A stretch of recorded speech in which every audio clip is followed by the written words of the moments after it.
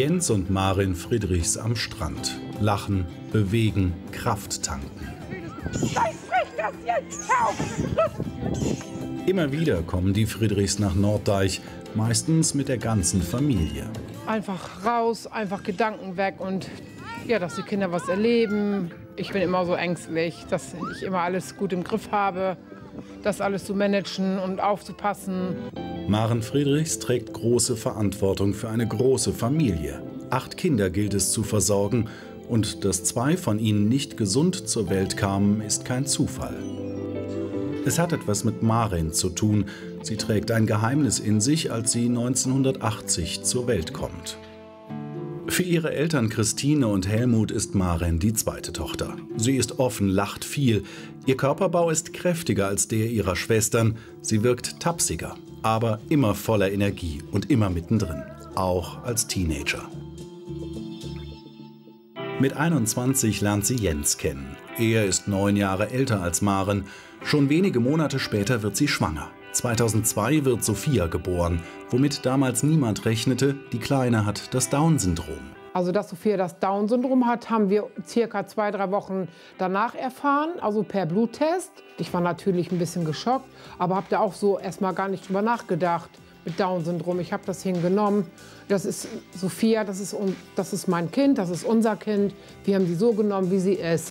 Menschen mit Down-Syndrom haben ein Chromosom zusätzlich. Das 21. liegt nicht doppelt, sondern dreifach vor. Die Folge sind geistige und körperliche Beeinträchtigungen, bei dem einen mehr, bei dem anderen weniger. Große Sorgen macht sich Marin damals keine. Sie zögert auch nicht, wieder schwanger zu werden. 2003 wird Tim geboren. Anders als Sophia ist er vollkommen gesund. Es war sehr schön, Tim als gesunden Jungen zu bekommen. Also für die Förderung für Sophia war das damals ganz gut. Der Kinderarzt meinte, das passt eigentlich ganz gut, weil Sophia sich ganz viel von Tim abgeguckt hat. Sei es das Laufen. Ja, Tim und Sophia konnten fast gleichzeitig laufen. Sophia mit zwei Jahren und Tim mit eins. Nach Tim wird Maren noch dreimal schwanger. Dreimal erleidet sie eine Fehlgeburt. Bei einem Fötus wird das Down-Syndrom festgestellt. Die Ärzte werden hellhörig und finden heraus, Maren hat einen Gendefekt, der über 20 Jahre niemandem aufgefallen ist. Also mein Gendefekt wurde mit 24 festgestellt in den Hautzellen, in den Hautfibroplasten. Da wurde mir Haut entnommen und da kam dann halt raus, dass ich die Mosaiktrisomie 21 habe. Die Mosaiktrisomie. Es ist eine milde Form des Down-Syndroms. Obwohl Jens und Maren seit 14 Jahren wissen, dass Maren ihren Gendefekt vererben kann, haben sie sich für weitere Kinder entschieden. Verantwortungslos finden sie das nicht. Es ist natürlich eine schwierige Entscheidung und wir sind natürlich laufen nicht blauäugig durchs Leben. Leute urteilen sowieso viel zu schnell. Wie viele, ja, wie viele Drogenabhängige gibt es oder Alkoholiker, die da Kinder in die Welt setzen. Da könnte ich ja auch fragen, das, warum tut ihr das? Ja, das finde ich viel schlimm. Warum raucht ihr in der Schwangerschaft? Warum? Das finde ich viel schlimmer, ja. das stimmt. Und das ist dann auch ja noch bewusst eine Behinderung riskieren. Richtig. Als Maren 2005 wieder schwanger wird, stellen Ärzte fest, dass ihr drittes Kind wie schon das erste das Down-Syndrom hat. Bei der Hausgeburt wird Julian mit einem schweren Herzfehler geboren. Wo Julian dann rauskam, der hat ja gar nicht geschrien, der war ja ganz blau. Und deswegen, mein Hebamme hat dann gleich einen Krankenwagen, Notarzt gerufen. Und das war natürlich für mich ganz schrecklich. Also das war richtig, ah, das war dann in dem Moment nicht schön. Aber Julian überlebt, auch dank einer Herz-OP kurz nach der Geburt. Er entwickelt sich gut, spricht besser als seine ältere Schwester und kann äußern, was er braucht und was ihm nicht gefällt. Nach Julian kommen noch Simon und Till zur Welt, beide gesund. Vater Jens hat aus einer früheren Beziehung noch Tochter Marina und die Söhne Matthias und Michael mit in die Ehe gebracht. Besonders viel Hilfe brauchen aber bis heute Julian und Sophia. Eine Fördermaßnahme ist die Hippotherapie. Einmal die Woche dürfen Sophia und Julian aufs Pferd. Hi! Na? Moin! Beim Reiten verliert Sophia ihre massive innere Anspannung. Auch Bewegungsstörungen lassen nach. Sobald sie auf dem Pferd sitzt, fängt sie an zu brabbeln. Sie fängt einfach an zu brabbeln und zu reden. Man kann das zwar nicht verstehen, aber sie spricht und freut sich auch total. Also, also sie geht richtig auf auf dem Pferd. Genau. Eine Stunde Reiten pro Woche. Klasse, Sophia. Woo. Es sind Momente, in denen Sophia und Julian loslassen können. Momente, die auch Maren glücklich machen. Die werden ruhiger, die Kinder. Ruhiger, gelassener. Die Sprache verändert sich deutlicher. Ja. Jetzt darf auch Julian endlich aufs Pferd. Und Sophia macht das, was sie schon immer am liebsten getan hat: Schaukeln. Beim Reiten wird auch die Motorik der Down-Kinder gefördert.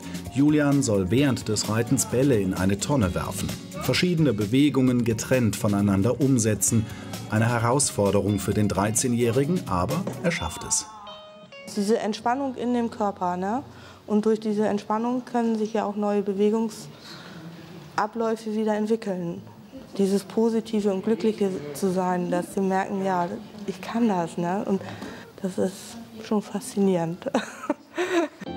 Nach der Hippotherapie geht's in die Stadt, denn heute steht auch noch ein Besuch beim Arzt an.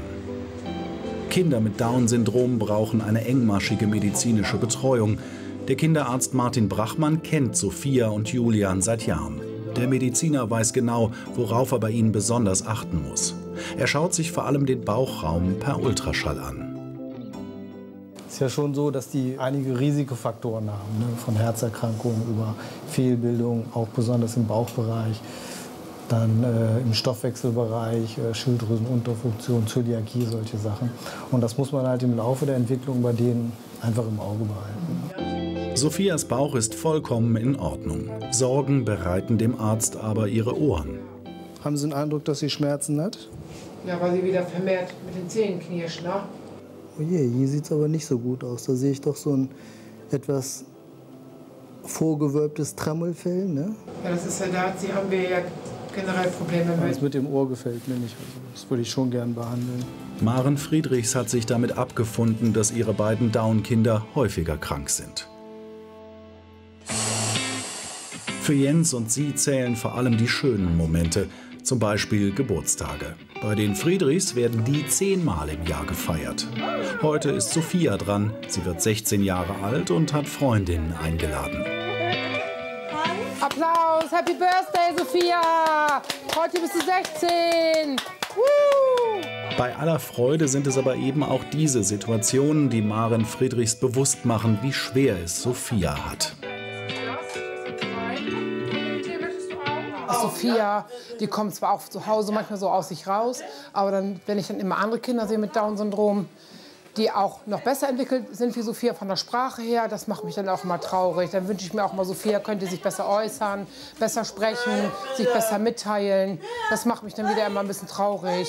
Dabei hat sich Sophia mit Blick auf ihre Beeinträchtigungen gut entwickelt und ihre Eltern haben einen großen Anteil daran. Deshalb schmerzt es Jens und Maren auch, wenn ihnen von der Gesellschaft vermittelt wird, dass es die Down-Kinder eigentlich ja gar nicht geben müsste. Ich habe von einer Frauenärztin hier in Aurich mal so eine Überweisung in die Hand gedrückt bekommen. Hier, zum Sterilisieren. Da dachte ich mir, geht's Ungef noch? Ungefragt. Ungefragt. Da dachte ich mir, ey, wo bin ich hier? Ich, das ist doch mein eigener Körper. Ja, einfach so. Das war auch nicht Thema im Gespräch. Nee. Absolut überhaupt gar nicht. Nee, das war gar kein Thema. Nee. Es ging darüber, um eine Verhütungsmethode, um die Spirale. Darum ging das. Beide haben auch die jüngste Debatte um vorbeugende Trisomie-Bluttests mitverfolgt. Die versuchen das auszusortieren, gesund von Down-Syndrom. Aber ich finde das alles andere als in Ordnung. Ich meine, jeder hat dann, ich weiß nicht, ob das dann jeder macht, wenn man es vorher weiß. Die Entscheidung hat man dann ja immer noch. Aber ich rate nur jedem, denkt da lieber zehnmal drüber nach. Weil wenn es dann erstmal weg ist, dann ist es zu spät.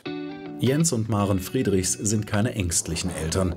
Was sie manchmal bedrückt, sind Gedanken an die Zukunft von Julian und Sophia. Wer kümmert sich später um die beiden? Man macht sich natürlich Sorgen. Ne? Geht das, wie geht das weiter? Besondere Betreuung werden die immer brauchen. Ja. Das wird sich nicht ändern. Ja, ja. Ist so, bleibt so. Da tut sich auch nicht mehr viel in der Entwicklung. Nee. Julia muss man abwarten. Aber es sind ja im Kopf immer Kinder und bleiben die auch. Und Das muss man dann halt später individuell anpassen. Aber mhm. Sophia wird definitiv später mehr Pflege brauchen wie Julian. Aber ja. beide trotzdem viel.